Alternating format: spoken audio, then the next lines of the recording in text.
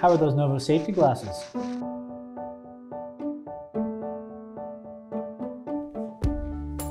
That's what I thought.